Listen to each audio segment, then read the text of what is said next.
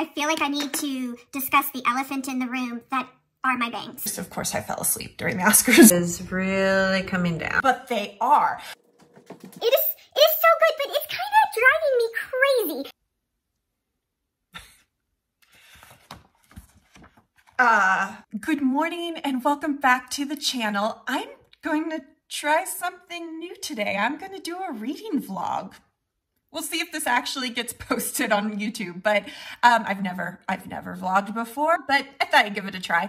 Um, and uh, so, yes, so a reading vlog. Um, I am, these, I am reading A Place for Us, and I would like to finish it today. I just have read a very little bit in Founding Brothers, so I will read more in that today. But my number one goal is to finish A Place for Us uh, by Fatima Farheen Mirza. And then I have been listening to an audiobook. It is it is so good, but it's kind of driving me crazy because you know something has happened, but you don't know what it is. And the longer they're keeping me in suspense, I'm now getting a little irritated. Um, Uh, it's the audiobook of The Unlikely Pilgrimage of Harold Fry. And I, am really enjoying it, but I, I am getting irritated because they keep, they keep letting you know something really big happened. At least that's how I feel. I mean, maybe I'm wrong. Maybe nothing big happens, but I feel like they're setting me up for something and, and they've been setting me up from, you know, page one. And I've probably listened to maybe four hours or so of it, which I forget how long the audiobook is. I'll, I'll put it in here, maybe 10 or 12 hours. But anyway, um, I may, uh, I may go into town today. And if I do, of course, I'll listen to that. And I have a few household chores to do. So I'll listen to the audiobook during that. But basically, I'm pretty, my husband is out of town at work this weekend. So I'm pretty much going to read like all day today and all day tomorrow. Doesn't that sound wonderful? Okay, before I do that, I feel like I need to discuss the elephant in the room that are my bangs. So, so I went to a new person yesterday because the lady who normally does my hair um, was already booked. And so um, with the new person yesterday, I said, please, please help, help fix my bangs. And um, I, I did them myself and they're a wreck. I said, and I like them a bit shorter. So she took that a little far. They're really short. I feel like I'm like 10 years old again. Having a little bow in my hair probably is not helping me look any older. Not that I want to look old, but I don't want to look like a child's haircut either. Anyway, um, my bangs grow so fast, so I'll only look weird for like probably the next two or three videos. I mean, weird in that way. I just, I needed to explain before we went any further.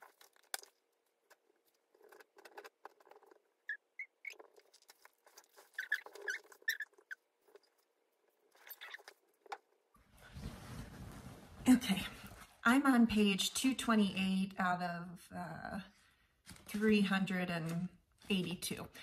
So I'm a good ways through the book. And people, I have heard nothing but good things about this book. So maybe it's just more of a reflection of the mood I'm in, but it's, I should have finished this book in like two nights. And I started reading this five days ago. Something that's kind of bugging me is the timeline keeps going back and forth I mean, a million books go do that. Like that seems to be what everyone does nowadays. And it, I don't remember ever being irked by it or irritated by it. Maybe I'm just irritable. Didn't I just talk about being irritated about the, the audiobook? So maybe this is more about me than you, uh, a place for us. But like with the timeline, there's nothing to indicate, you get no heads up that you're going to switch time. You, you just, you get it from the context of what you're reading. And it's not like it's going back to one time and then forward to another and back to the same time. It's it's different times. Like it starts in, you know, the present and then you go back to when the kids were really young or you go back to when the kids were teenagers or young adults and then you go back to when they were kids. Like you're constantly jumping the timeline. And I'm I'm wondering if maybe that's what isn't why I'm not running through this book like I usually run through this kind of book. But I want to be negative about it because I can, this is a good book. And, um, I do, I care about the characters. I have high hopes. Like, I feel like, I'll let you know, but I feel like by the end, I'm going to say, yes, yes, beautiful. That's my hope. So don't take this as too negative uh, because I, I really feel like it's going to come through at the end and make it all worth it. Okay, back to reading.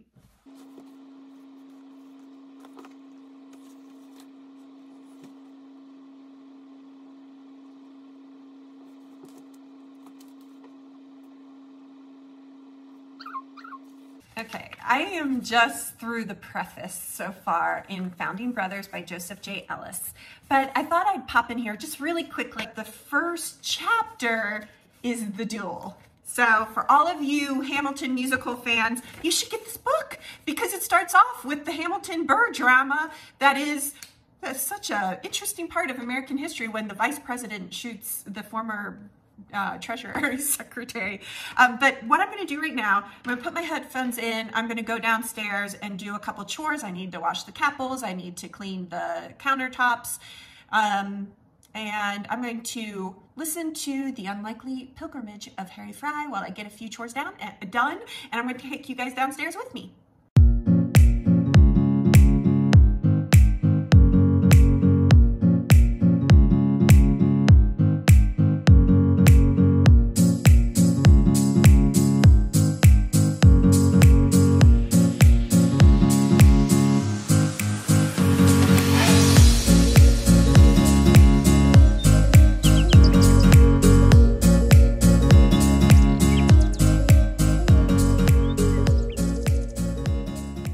Is really coming down now. So I'm not gonna head out. All right, it is near my bedtime. It's 9.12 p.m. And I just finished a place for us. I don't think I can even talk about it yet. I'm gonna go wash up, wash my face, brush my teeth, go to bed, and I'll uh, pop on here tomorrow and maybe be able to put some thoughts together. Good morning. Welcome back to the vlog. so I didn't film yesterday and that's because I read all day up until the Oscars and then I watched the Oscars. Of course, I fell asleep during the Oscars, but um, uh, it was a very, other than like in the early morning when I had gotten up at 4.30 and uh, worked out like first thing, other than that, I, it was just kind of a reading day, which was my plan. So I'm, I'm not at all complaining. That's exactly what I wanted. But I told you I would talk to you about a place for us. I finished this on Saturday night. Okay. So in this very spot, I was, I was, um, I was a bit conflicted because I knew this was a good story, but I wasn't running through it like I normally run through a book like this. Let me just say the end section of this book, which is called part four, begins um, on page 303.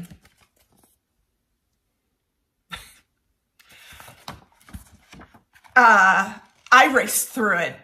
That this, I mean, I, I knew, I, well, I felt strongly, I think I even said it, I felt strongly this was going to end in such a way that I was going to feel like this whole book with its jumping, um, oh, Henry, don't hit the camera, with its jumping um, timeline, that I was going to read the end and the end was going to make it all worth it. And it incredibly did. It the end that that last that whole last section, I I have so many things highlighted in that section. It was beautiful. It was freaking beautiful. And while I haven't officially given it a star rating yet, I almost feel just because of this end section, I can't give it anything but a five. I was talking to my husband last night. He's out of town. And I said, I really need to like come up with a rating philosophy. He goes, yeah, because you don't want to become five star Susan. And I'm like, exactly. Like who's going to listen to me if I have so many five star books? But I can't not. The, the end, the end. It was so good. Okay. So there's that. Pretty sure I'm to give it five stars. Here's the crazy thing. So while I was reading this, I often will have you know, a paperback or hardback book or Kindle book going while I have an audio book going. And um, this one, I had The Unlikely Pilgrimage of Harold Fry. We're just to call it Harold for the rest of today. This book I had on audio and ebook from the library. So I started it on audio. And to read these two together, not literally at the same time, but you know what I mean. You're going back and forth between the two, which I don't um, I don't mind if one of them's audio. I don't do that with, like, I wouldn't have two fiction books I'm reading at the same time. I could have a nonfiction and a fiction book that are, you know, paper books. But um, if it's an audio book, I don't mind having two fiction going at the same time. So that's what I was doing. And you would not think that these two books are like excellent companion reads, but they are. I mean, you think on the surface they couldn't be more different, and in many ways they are. Uh, this is a Indian Muslim family living in California and navigating the, you know, the first and second generation navigating how they're going to proceed with their life you know the traditions what they're going to, what the children want to keep and what they want to change and and how the parents deal with that. And this is extremely british. Harold i mean he and his wife couldn't get more british. But some of the themes in these two books they just go together so well. This one ripped me up especially the end when you're the that part four I'm talking about is mainly from the father's point of view, which he he's like a character you're looking at through the book. And then that part four, he's the character you're hearing his voice. In this one, I was delighted from the beginning, but it also was very poignant. It was very touching. It was um it makes your heart like it's very tender. Uh, you're you're I was I was um I was concerned and I think I said I was getting a little frustrated because you know something happens. I mean, in all books you know that, but like in a lot of books where there's something like usually, at least the way I'm thinking, in books, you're not you're not knowing from the first page there's something and then you don't really find out till like the end of the book what it is. Like usually there are different epiphanies throughout the book, whereas this one held the same mysteries, um, kind of two mysteries through the whole book. Mm, maybe three. Okay, I'm, I need to focus. I feel like they're both five stars. I'll make a commitment tonight. You'll see it in the wrap up, like what, where I landed on that. But if you go by the Goodreads rating system, five stars, I think is, it's amazing. And four stars was like, uh, very good. And then three stars was, I like it. And can't not say these two books were amazing. I don't want to become five-star Susan, but I also want to give credit where credit is due. Okay, I've decided right now, it's official. They're both five stars. That's how much they touched me. Yeah. Okay, so um, today I'm just wrapping up this vlog. Thanks for hanging out with me. If you've made it this far, I appreciate it. I, I, know I'm really new to this. And so anyone who does actually make it to the end, I thank you so much. Like, I appreciate it. I really, really do. But I hope everyone has a wonderful reading week. I'll see you guys. I'll have this posted this week and then I'll see you guys again next week with a new video. Thank you. Bye.